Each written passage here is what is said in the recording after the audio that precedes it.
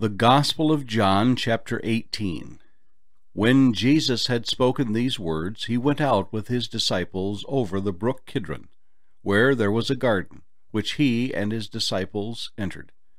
And Judas, who betrayed him, also knew the place, for Jesus often met there with his disciples.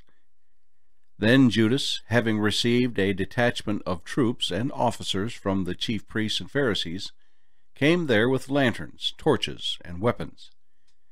Jesus, therefore, knowing all things that would come upon him, went forward and said to them, Whom are you seeking?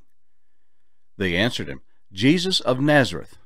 Jesus said to them, I am he. And Judas, who betrayed him, also stood with them.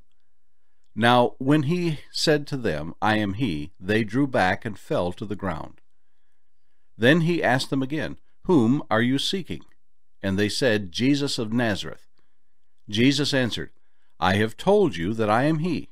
Therefore, if you seek me, let these go their way, that the saying might be fulfilled which he spoke, Of those whom you gave me, I have lost none.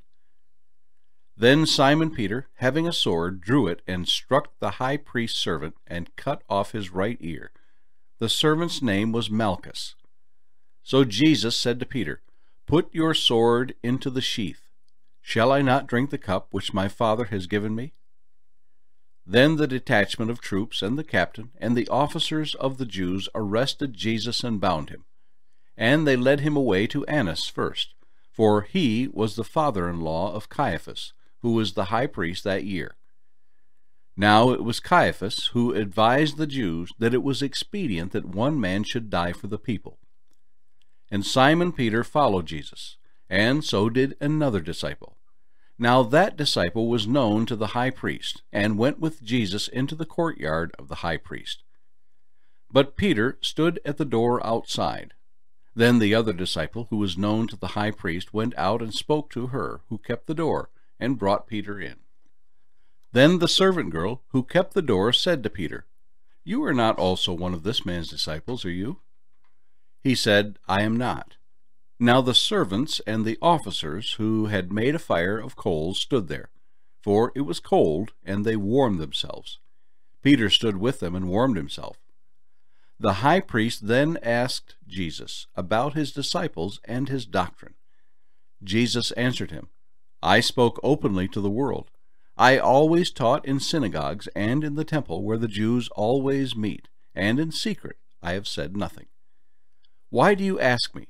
Ask those who have heard me what I said to them. Indeed, they know what I said. And when he had said these things, one of the officers who stood by struck Jesus with the palm of his hand, saying, Do you answer the high priest like that? Jesus answered him, If I have spoken evil, bear witness of the evil. But if well, why do you strike me? Then Annas sent him bound to Caiaphas the high priest. Now Simon Peter stood and warmed himself. Therefore they said to him, You are not also one of his disciples, are you? He denied it and said, I am not. One of the servants of the high priest, a relative of him whose ear Peter cut off, said, Did I not see you in the garden with him? Peter then denied again, and immediately a rooster crowed. Then they led Jesus from Caiaphas to the praetorium, and it was early morning. But they themselves did not go into the praetorium, lest they should be defiled, but that they might eat the Passover. Pilate then went out to them and said, What accusation do you bring against this man? They answered and said to him, If he were not an evildoer, we would not have delivered him up to you. Then Pilate said to them, You take him and judge him according to your law. Therefore the Jews said to him, It is not lawful for us to put anyone to death, that the saying of Jesus might be fulfilled which he spoke, signifying by what death he would die. Then Pilate entered the praetorium again, called Jesus, and said to him, Are you the king of the Jews? Jesus answered him, Are you speaking for yourself about this, or did others tell you this concerning me? Pilate answered, Am I a Jew? Your own nation and the chief priests have delivered you to me. What have you done? Jesus answered, My kingdom is not of this world. If my kingdom were of this world, my servants would fight, so that I should not be delivered to the Jews. But now my kingdom is not from here. Pilate therefore said to him, Are you a king then? Jesus answered, You say rightly that I am a king. For this cause I was born, and for this cause I have come into the world, that I should bear witness to the truth. Every one who is of the truth hears my voice. Pilate said to him, What is truth? And when he had said this, he went out again to the Jews and said to them, I find no fault in him at all. But you have a custom that I should release someone to you at the Passover. Do you therefore want me to release to you the king of the Jews? Then they all cried again, saying, Not this man, but Barabbas. Now Barabbas was a robber.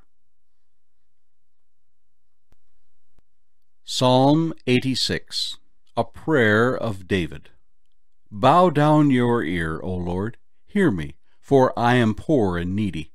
Preserve my life, for I am holy. You are my God. Save your servant who trusts in you. Be merciful to me, O Lord, for I cry to you all day long. Rejoice the soul of your servant. For to you, O Lord, I lift up my soul.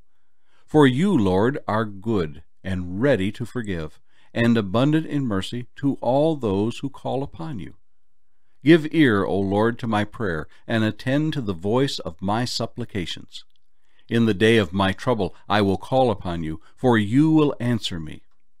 Among the gods there is none like you, O Lord nor are there any works like your works.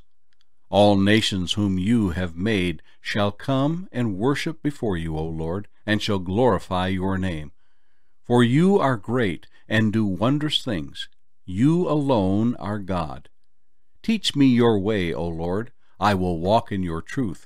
Unite my heart to fear your name. I will praise you, O Lord my God, with all my heart and I will glorify your name for evermore. For great is your mercy toward me, and you have delivered my soul from the depths of Sheol. O God, the proud have risen against me, and a mob of violent men have sought my life, and have not set you before them. But you, O Lord, are a God full of compassion, and gracious, long-suffering, and abundant in mercy and truth. O turn to me and have mercy on me. Give your strength to your servant, and save the son of your maidservant. Show me a sign for good, that those who hate me may see it and be ashamed, because you, Lord, have helped me and comforted me.